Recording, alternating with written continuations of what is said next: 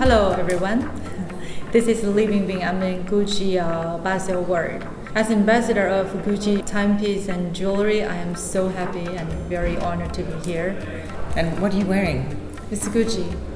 Beautiful. I love it. Yeah. It's so uh, so beautiful. Very elegant. And what about your watch, Li? Of course, this is a very special watch. Me and Gucci, we created purposely for the environment protection. All of the material is sustainable and environmental. And I would love to uh, introduce something behind the watch.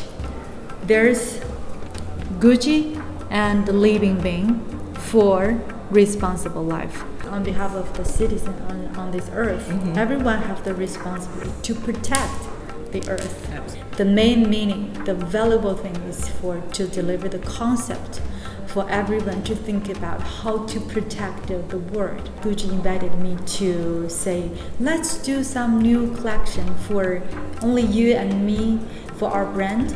So I gave this uh, idea to a Gucci brand, and they are very very happy to have this idea.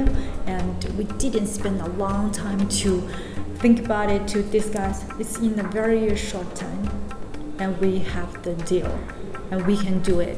Very it's good. very very quick, and I hope more and more people pay attention to environmental protection. Looking good and doing good. Yes.